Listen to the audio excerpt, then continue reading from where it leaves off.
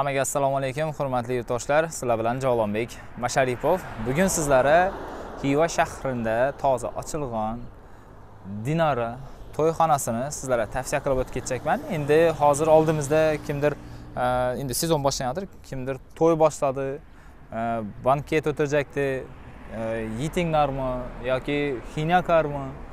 Yana sizlarga dinara kafesini ya'ni to'yxonasini tavsiya qilaman. Uch yuz odamga moslashgan. Bemalol uch yuz odam sig'adi. Xiva shahar bu tarafimiz hozir rayonniy rayoniy больницадан kelaverishda qasman ketaverishda toza yo'lda. Bu yo'l to'g'ri oydin ko'l olib chiqadigan yo'l. E, rayonniy больницадан ketaverishda chap taraflaringizda bo'ladi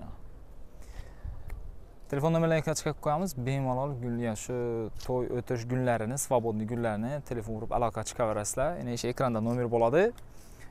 Bemalol. Birovni aytaverasizlar do'stlar. Odam moslashgan ichan taraf ham komfortniy hozir o'zlarimiz shu ichanda hammanglarni ko'rsatib beramiz.